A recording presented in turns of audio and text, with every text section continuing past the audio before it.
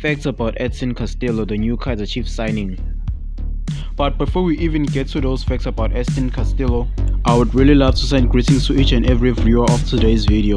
And if you don't mind, you can comment down telling us where you're watching this video from. After all that, you can subscribe to the channel, like the video, and lastly share this video with your friends and family.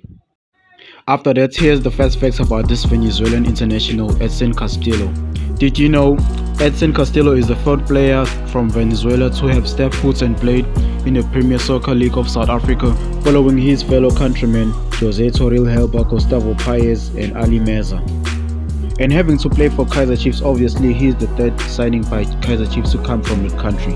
Now, if you remember very well the story of Torrealba and Kaiser Chiefs, he was a player who played for them from 2008 to 2011 and he played as a striker for 35 appearances and 4 goals during that period. Second is Gustavo Paez who played for as a striker with 45 appearances and 7 goals during a period he, he was with Chiefs from 2017 to 2019.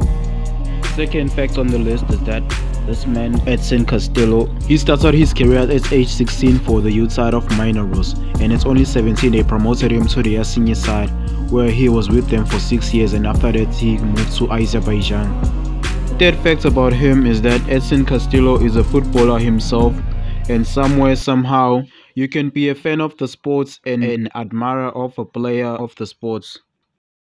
The likes of Ronaldo Messi, just to mention a few of the players that we normally see being adored by other up and coming footballers. And for Edson Castillo's case, he, he once posted a photo of him and Cuadrado from Colombia. That post is even pinned as a moment he will never forget in his life. And to top things up, to be more rejoiceful for him, Cuadrado even commented back on him.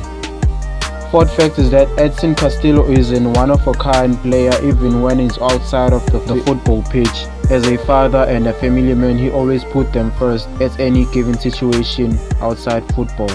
So yeah, that is like the great facts about him.